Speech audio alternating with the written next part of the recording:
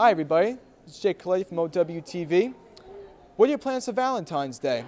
I will be asking students what their plans are. Check it out. No, this year I'm not celebrating. Yes, I will. Uh, no.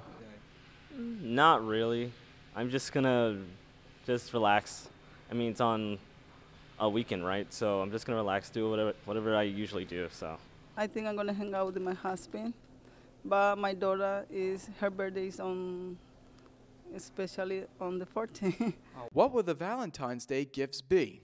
Well, I'm gonna buy my girlfriend a really nice bear, like a teddy bear, and then get her, give her the second part to this necklace, which is just like the heart. I guess it depends on what your girl likes. Uh, but uh, it's say traditional. Some probably take her out to eat or something like that. Um, probably, probably would start off with a movie in the afternoon, and then probably dinner at some restaurant or something like that. What are students' favorite love songs? Major League from Pavement. Green Day called "When It's Time." That's a very good song, very good love song. Love songs are stupid. Love songs are stupid. Yeah, you should learn how to sing and sing to your girlfriend, serenade her. What would Valentine's Day be in one word? Love, it's obvious, man. A pain. Expensive. This is Jake Colletti from OWTV, and happy Valentine's Day.